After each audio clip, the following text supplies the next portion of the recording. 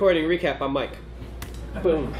So, this is, um, has anyone ever seen this graph? This is a real graph.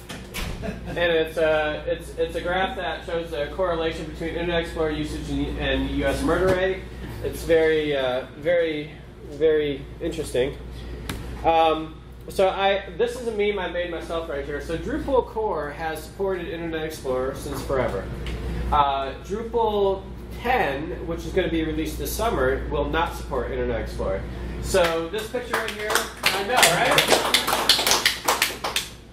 This picture right here is Drupal's front end, and then you have all this gunk at the bottom, basically slowing it down. That gunk is Internet Explorer right there. So uh, we're going to talk about, of course, we have like lots of memes. We're going to talk of the history and backwards compatibility problem that we have uh, what's in core now and some cool CSS features. So even if you're not a Drupal person, but you know uh, a bit about CSS, I'm probably going to teach you something. You're going to, uh, hopefully, at the end, you'll be super excited about it because I am. And we're going to talk about how core is going to use this. Hey, Christina. So who here has seen this before? It's Drupal, right? Yeah. So this is Bartik. This is the current uh, default theme for Drupal. This um, this was developed in like 2009, 2010, um, and uh, it looks like it was developed in 2009, 2010. You know, it's not bad, and it's fun. It was, it was, it was. It's a leading cause of blindness. Yeah, like it, just doesn't look good anymore. You know, so. And who here has seen this?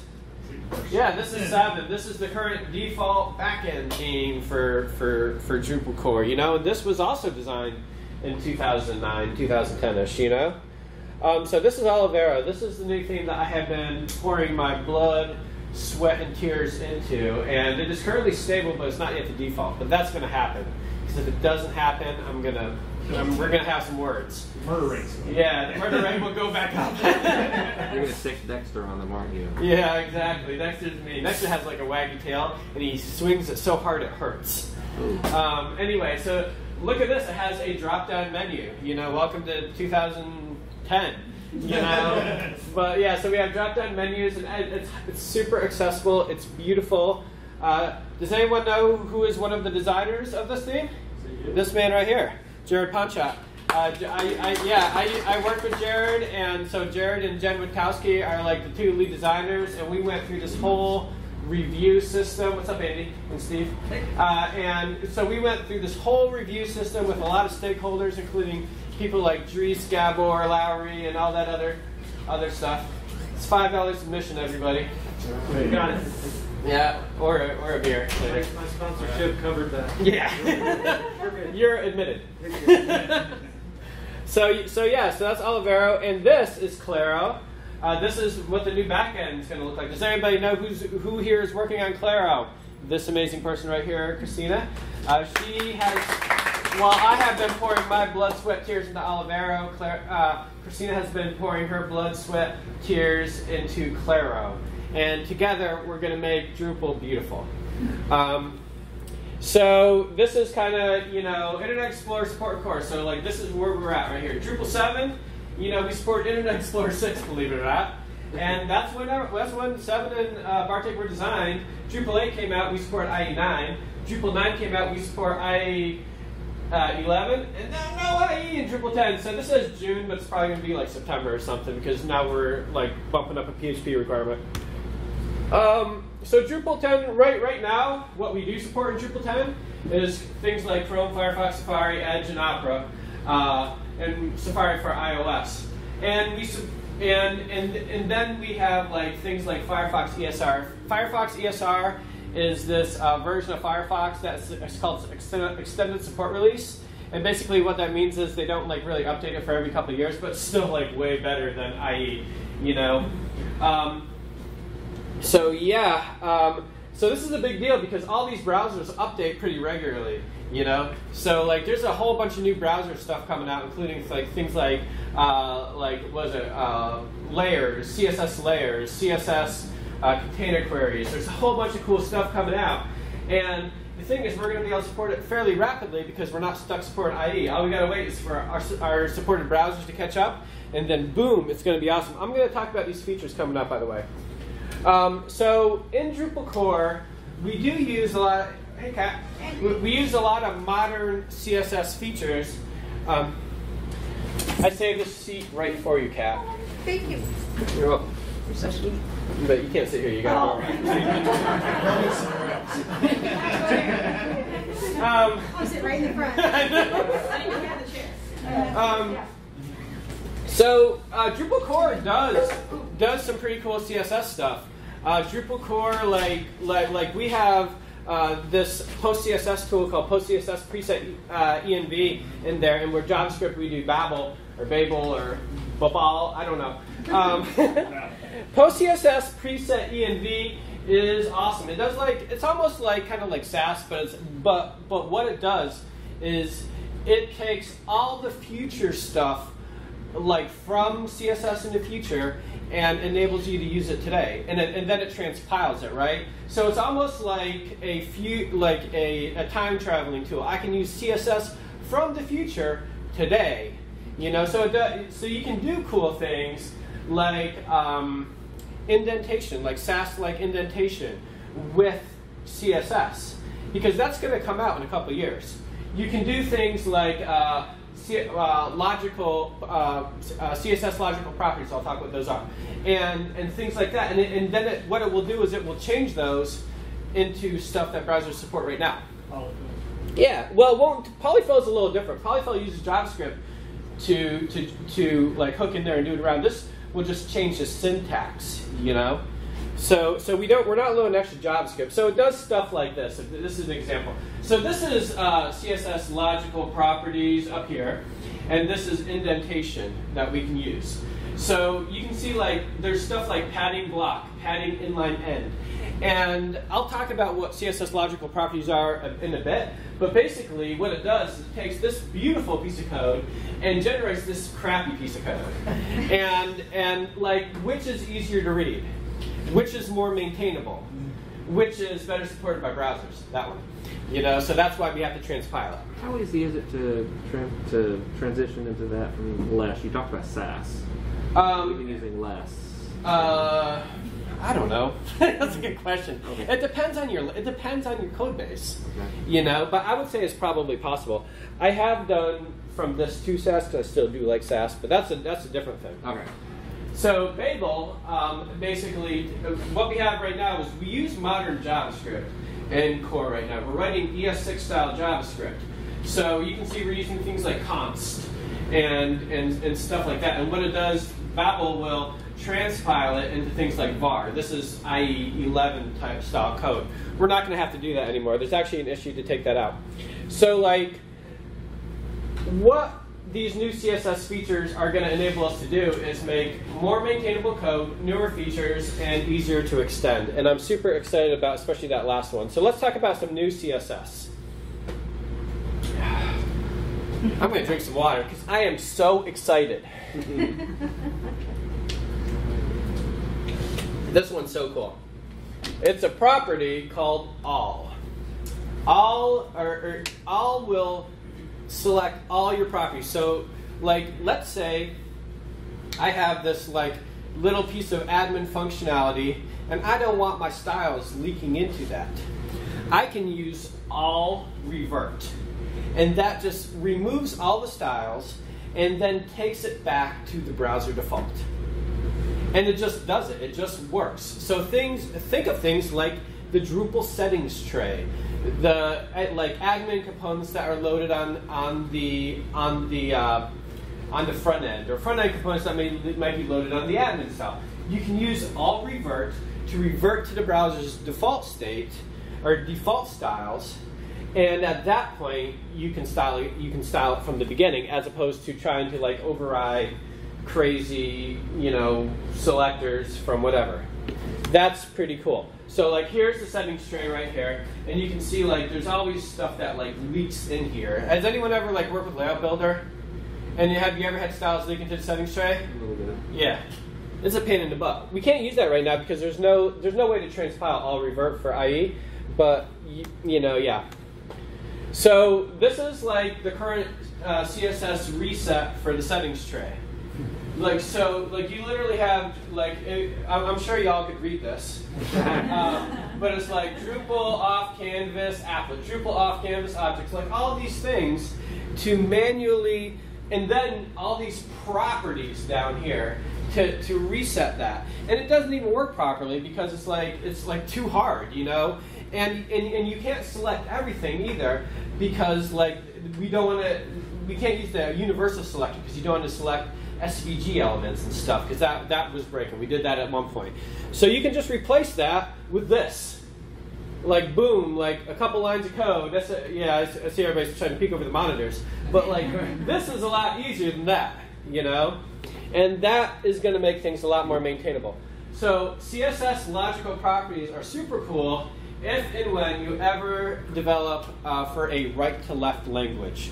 So when I'm talking about right to left languages, this is this is like Arabic. I have no clue what it says, but there's other languages like Hebrew and stuff like that. That like instead of reading from the left that way, you're reading from the right that way, and um, so it's yeah they're pretty easy, you know. So like normally you have a property when you're doing CSS right now, it says padding left 10 pixels. Like instead of that, you say padding inline start. So inline is left and right, block is up and top and bottom, you know? So like you have it, so it, it kind of makes sense. So you got, you, this is way too complicated actually. But like uh, you, you got padding block, you know, so, or margin block or, you know, stuff like that. And then, uh, and then inline, and then you got start and end. And, and it just works. And when in doubt, just Google it. But like, and, and then you don't have to do the dir RTL thing if y'all know that. So CSS Grid, who here has used CSS Grid?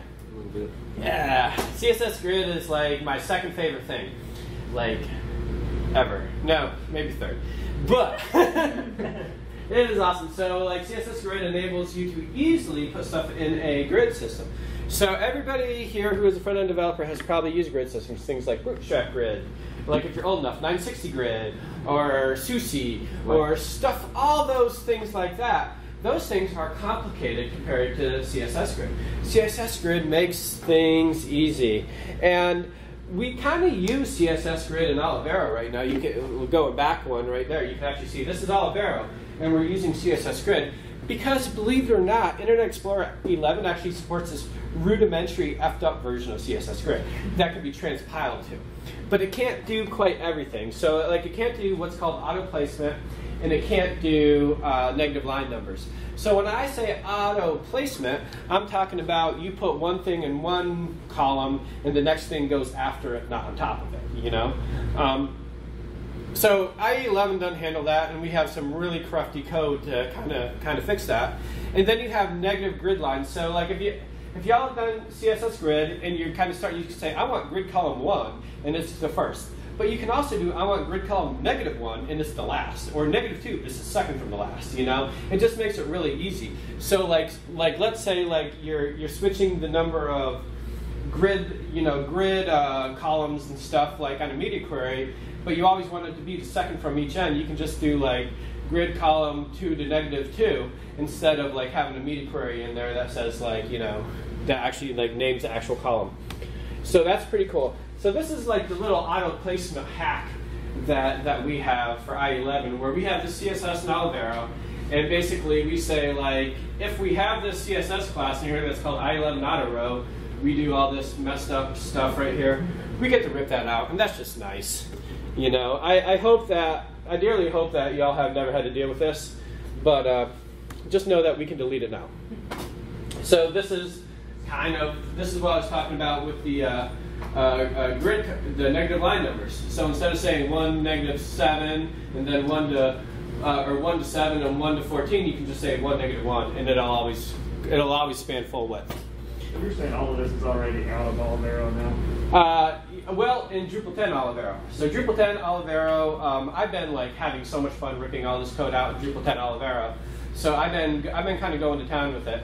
Um, but that all being said, like it's not completely out yet but and, and honestly, we're using it now, still. yeah, and Drupal 10 is not not yet stable, but honestly, the Olivero in Drupal 10 is so much better than Olivero in Drupal 9 because it does not support IE 11. You know. Um, so, yeah. Uh, what am I looking at here? Oh, oh yeah. So we're talking about CSS Grid. So like, you can see like, you ever go into views and you have like, you can ask, you can you, you, say like, how do I want this to be styled? See, you can do list or grid.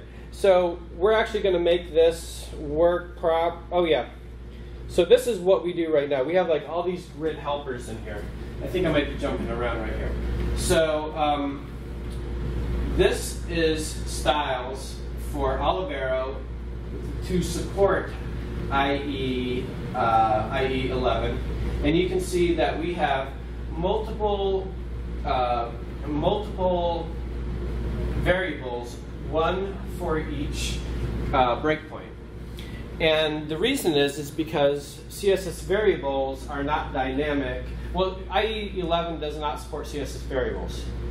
And so what we do is we compile these CSS variables to its value, but because it's not dynamic, we have to have a different version of that for every single breakpoint. And that's kind of what you're seeing right here. This will be a lot easier. You can see this is this code is actually in core, and I have a crying emoji.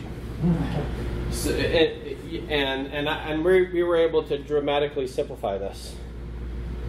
Um, so there's some new focus selectors that are available when you do not support Internet Explorer 11. Uh, focus within is a very very neat one, and there's also focus visible. Focus within allows you to select an element that has focus on any element inside of that. So that's very useful if you're doing like menu systems or something like that, and if you cannot rely on JavaScript. In Olivero, we use focus within if JavaScript is disabled, so you can still access those submenus. So we have a, um, see if I have an example right here. Yeah, this looks about right. So I have like, I have the list item, and I say, if that list item has a focus within, I show the menu underneath of that. And, and it, it provides access uh, for keyboard users under there. Now, it's not perfectly accessible because you're not toggling the uh, appropriate ARIA attributes, but it's a good fallback if, if uh, JavaScript is not available. Um, yeah, so here is, th- this is the CSS that I have that just basically says that if there's no JavaScript, we, we show. That's just the example CSS. Um, focus visible. So, yeah, have you ever like, you ever click and you see the focus outlines? And I've seen like a lot of designers, they say, Mike, I don't like these focus outlines. And you say, well, you need these for accessibility. Or sometimes the front end developer does not know that they need those for accessibility. So they just do an outline zero on the focus, which re- completely removes focus states. And that is extremely bad for uh, accessibility because at that point you don't know where your focus lies on your page. Um, focus within is a uh, selector that allows the browser to determine if the focus ring should be shown. So the browser will will basically sense if you're tap if you're tabbing around using a screen reader, using any other assistive technology, or if you're using a keyboard. Uh, I mean, if you're using a mouse. If you're using a mouse, fo- focus within will not like kind of show. Focus focus within uh, will will not activate, but if you're using a keyboard, it will. So what this enables you to do is it enables you to only show your focus outlines on um, if a user is using their keyboard you know and, and that's that's pretty cool. We are not using focus visible in drupal core just because the determination was made by accessibility maintainers that it's not quite ready because there's no way to always activate it. Um, who here has used the css not selector?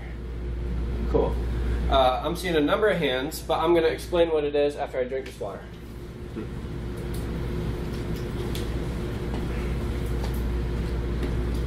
So the not CSS selector is really neat. because it allows you to select kind of the opposite of something, you know?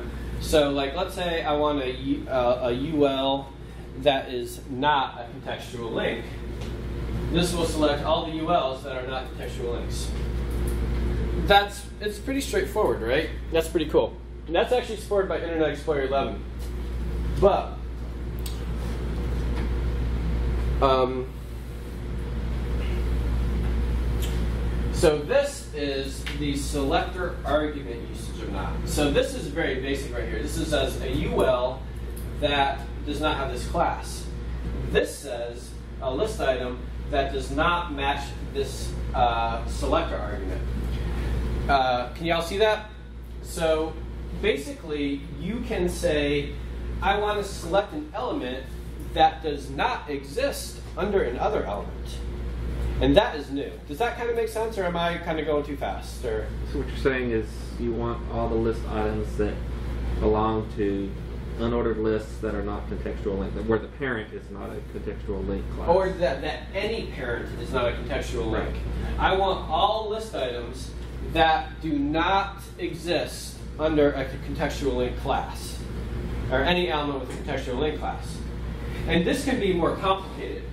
You know, you can say all list items that are not, you know, on like the dot body dot admin or something like that, you know, or something like that.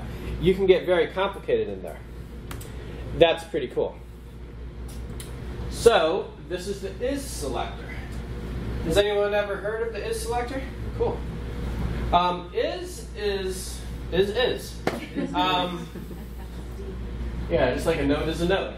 So it, it allows you to combine selectors. You know, so basically you take you can take this syntax right here, and you can combine it into this. So you can see like this. The rest of this is exactly the same, but these two headings are different. So you can say is heading one, heading two, and then the the selector underneath that, right? Does that kind of make sense? That's pretty cool. You th- you're kind of thinking, well, that just makes things a little shorter, but you can get. I'm, I'm going places with this.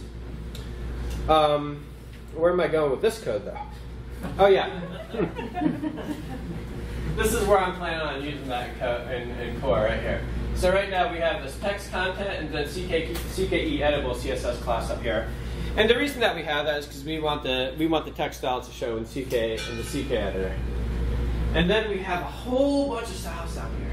And it, and it duplicates all these rules. It duplicates all the selectors and it makes the style sheets larger.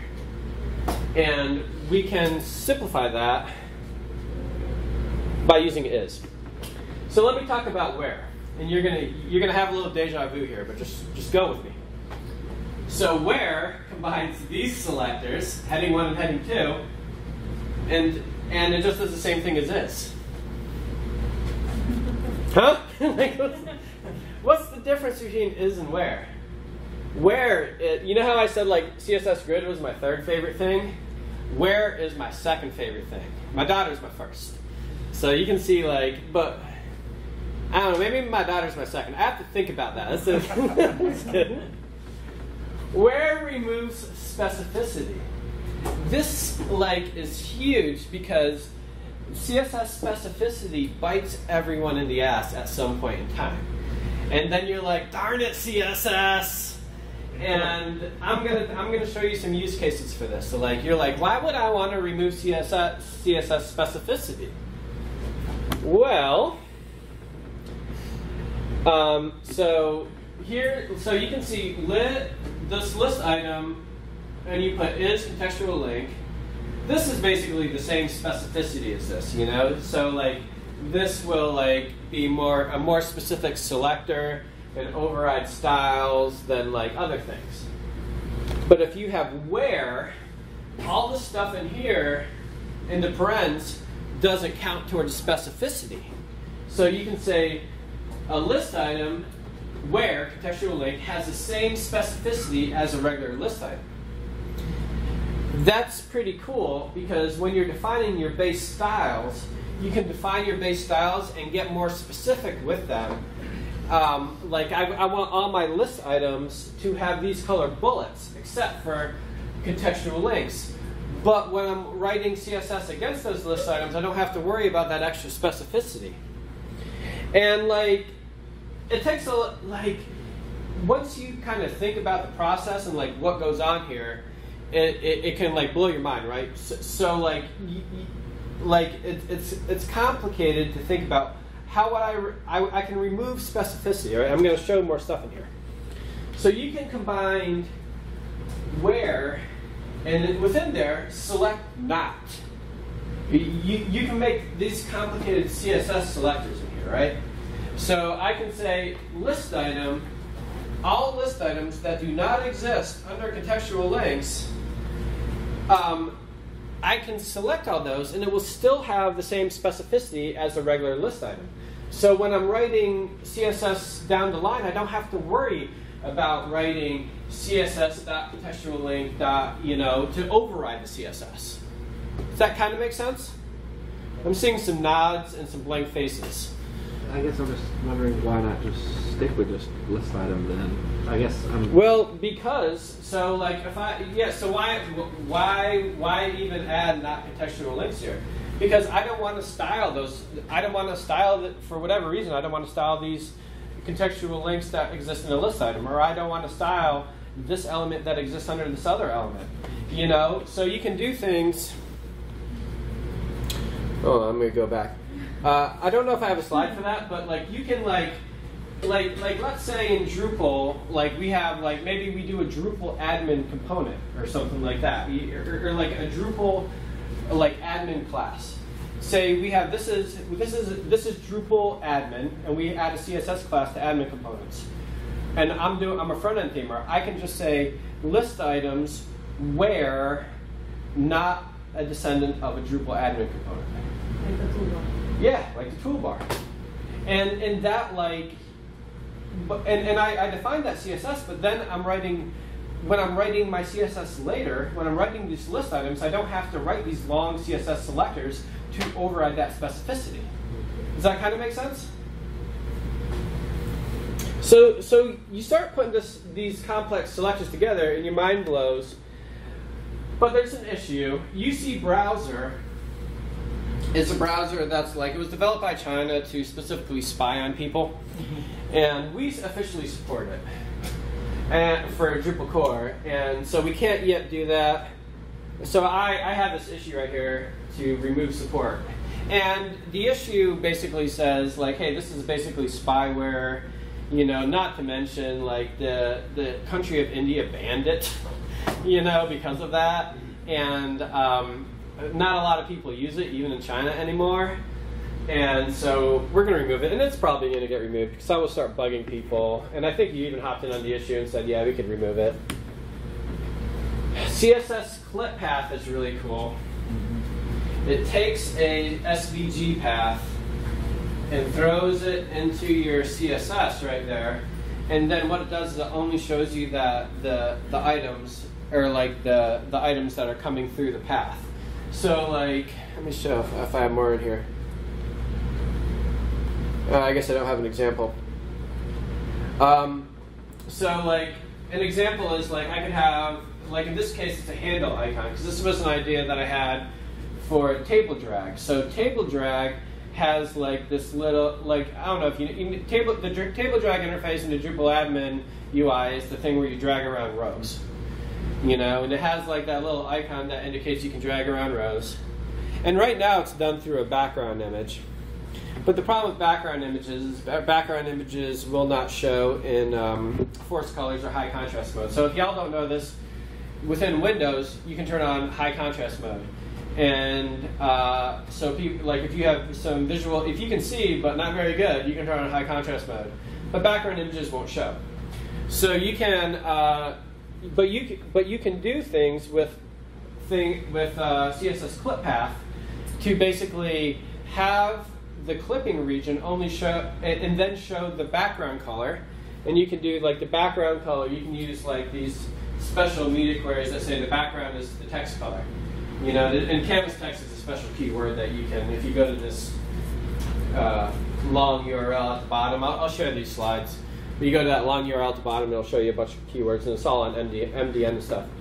So this is kind of important for Drupal core because Drupal core has very, very stringent accessibility requirements. Drupal core is like accessible, like it's super accessible. Like when we go, when we create those themes, we test it in all these types of browsers. We test it in Windows high contrast mode. We test it underwater. We test it on the moon. It's like tested, you know. And and so like when there's issues that say I can't see the icon for the table drag, or I can't see the icon for the shortcut bar, or stuff like that, that becomes a blocker. And then people like me and Cristina are like, shit, how do we handle this? And with IE11, IE11 was like saying, punch in the face. And now we're saying, get out of here. And, and, and we're able to find new ways to do that. So, yes. So my favorite thing, all right, so I said there was three favorite things. Like, so my th- three favorite things are grid, where, and CSS variables. I think CSS variables might be number one. My daughter is now, she's, she's the, I don't know. But CSS variables in Drupal 9, I talked about this a little bit. They're compiled during the build step. So when I say in the build step, like we write in Drupal core, we write PostCSS files, and then we run a compile step similar to Sass, and it generates the regular CSS files. So this means that all the CSS variables that we have defined get transpiled into their values, and so we have like all that extra. Um, I think this is the slide that probably made its way earlier that, that I was talking about. We've got all these extra uh, uh, uh, CSS custom properties here, CSS variables, that we have one for every single breakpoint, and that gets like a little hard to manage. And there's my sad face.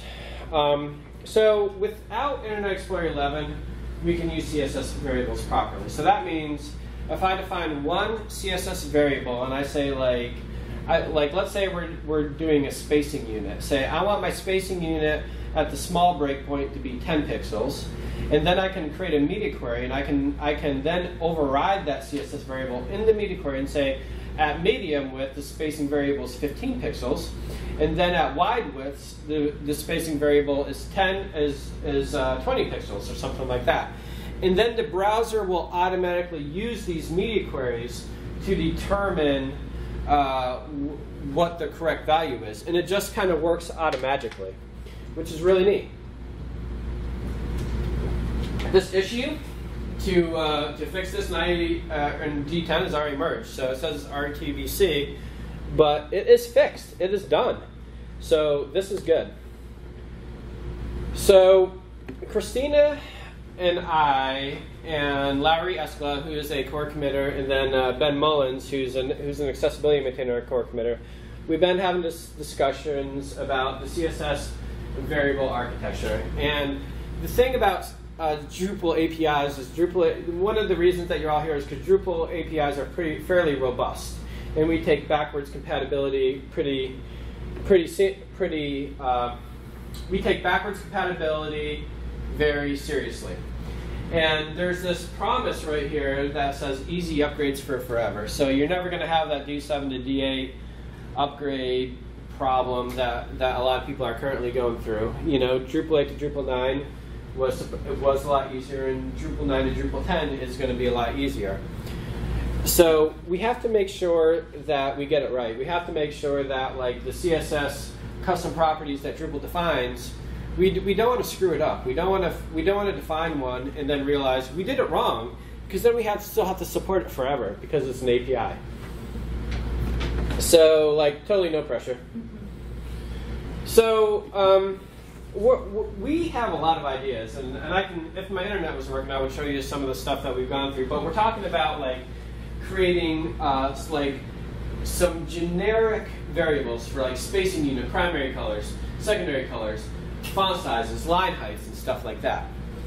And the way that we're doing this right now, I don't yet have a slide for this, is, is we're going to have like a CSS class called root, dot, root or root dash admin and we're going to attach that to the HTML elements on uh, within the various theme. And what's going to be really cool about that is that you'll be able to nest those because there's certain situations in Drupal where you'll be on the front end theme, which might be Olivero or your own custom theme, but you'll have an ad, you'll have an admin component rendered in, rendered within there. That might be the settings tray or the uh, toolbar or the uh, media library or something like that. But if the front end component is specifying all these CSS variables, we don't want those to filter down into the admin component. So what we what we can do is at the root of the admin component, we can just say root dash admin. And, and, and, and we can do the same thing uh, on the on the admin side, on the administrative side uh, of Drupal 10. You, uh, it's possible to have front end components render in the administrative side. Side, and a place where this is going to happen is in the new CKEditor 5, where CKEditor 5, when you're editing your text, you want to see the font system that you have in your front end thing because you want to know how it's, what it's going to look like, you know. So we're going to be able to do that. We're talking about uh, doing. Uh, we're going to preface. We're going to we're going to namespace things with Drupal.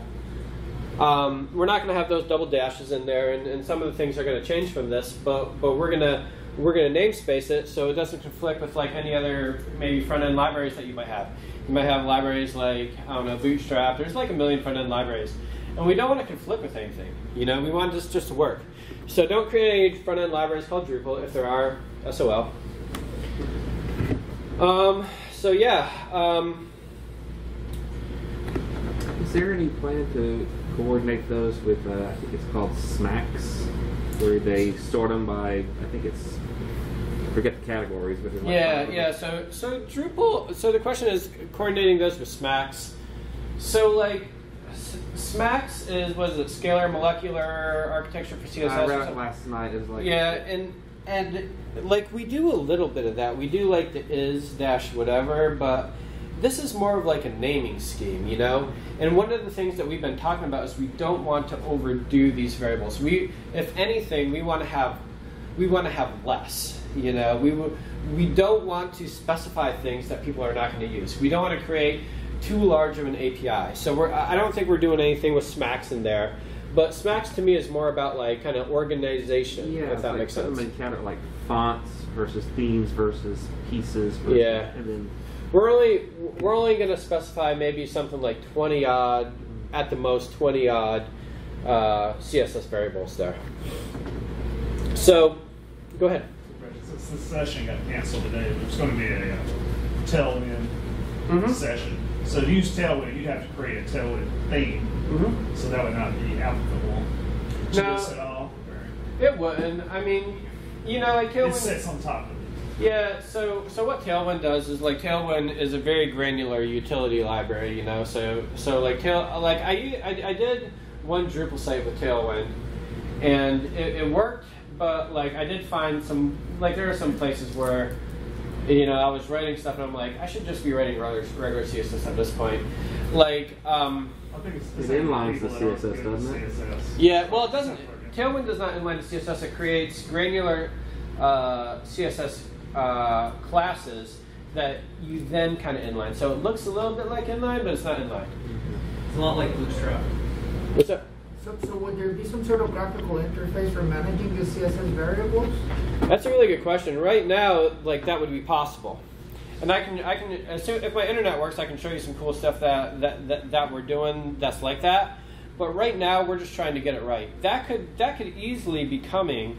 Like I would love. That's actually like a great idea. Like I would love to see something like that in Contrib, and then potentially pull it into Drupal core if it's popular enough. or let that replace the color module. I guess. Yeah, well, yeah. So we're talking about that. Like, there's um, Andy Blum who did the uh, CSS training yesterday, is working on a patch for Olivero to uh, basically use CSS variables to change the color in Olivero. If my CSS, if my internet working, I, I can demo that for you. So this, I, I refactored the tabs component in Olivero, and this is what I think things can look like right here. So, like, you know, Drupal tabs, you know, you got view, edit, you know, other tabs across the top. Like, for me, like, as a front end developer, when I create a new theme, the last thing I want to do is have to deal with tabs. You know, like there's, it's just like it's just one extra thing. So I want to give these to people And all they need to do is just override these right at the top, and then it just kind of looks like their theme. You know, and if they want to get more complicated, then they can start overriding selectors. You know, I want to make Drupal's components very easily extendable. So even if you're copying and pasting code into your own theme, you can just do it. I think that would be cool. But wait, there's more. I got lots of memes.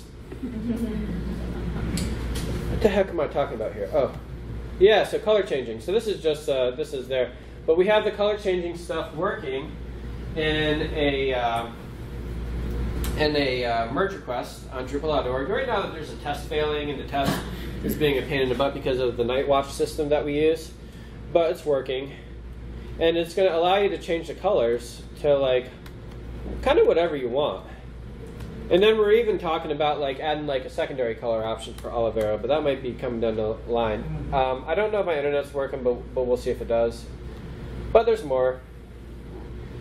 So, yeah, right here we go. So, y'all go into like CSS Grid. Like I swear these styles sneaked in earlier somehow. But like so, CSS Grid, it, or, or not CSS Grid. I'm sorry. So when you go into views, you can say, I want a grid style, or I want an unformatted list, or I want a table. But who here has used the grids and views? Yeah, you got one hand back there because it sucks. It's not responsive. It's hor. I would actually volunteer to say it's horrible. It was written back when Views 2 was around, probably in like 2009, and like things weren't responsive then. You know, I don't even know if media queries were a thing.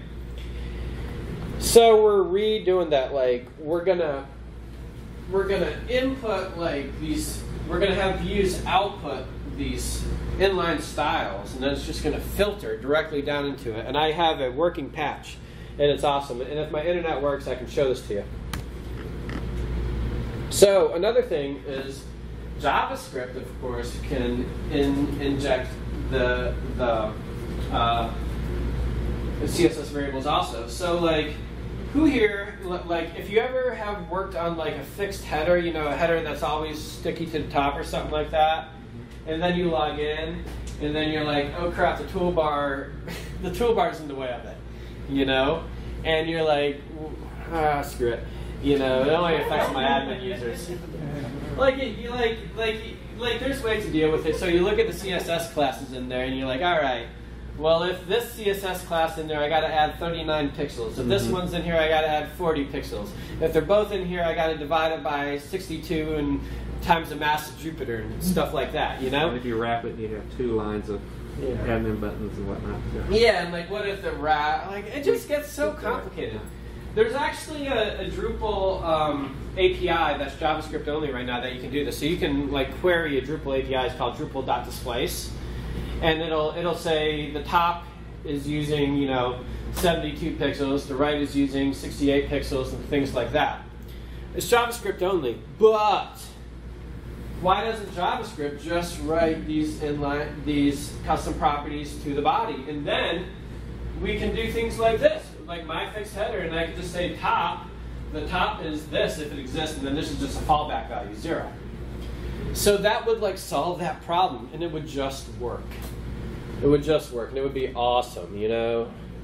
So like we're working really hard to kind of like get it right the first time, and, and we're thinking about it. We're giving a lot of thoughts. We're like like right now the uh, the place where this is at is like I think Cristina and Lauri and I were we're putting together some demos. Is that where it's sitting right now? Probably for the CSS stuff. Where we're going to see if it works. And I haven't done it yet because I've been concentrating on Florida Drupal Camp, but I want to do it this coming week, maybe tomorrow. So I'm excited about this. So there's a CSS modernization initiative. I created an issue. You can see it right there. And that's what it looks like if you don't actually feel like navigating to it. And uh, yeah, so that's me. I'm going to see if my internet's working because I got some cool stuff to show. No, no. Hey, look at that. So I wrote this. Um,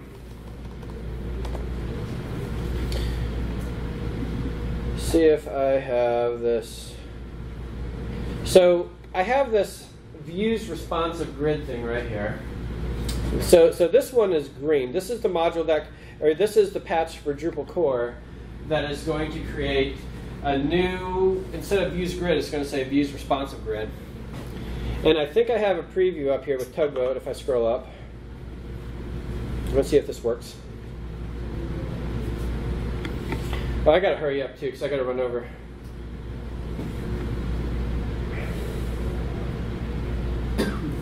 Oh yeah, I'm logged in. So like, here's I have this in Bartik right here, but the way this works, I'm to edit this view.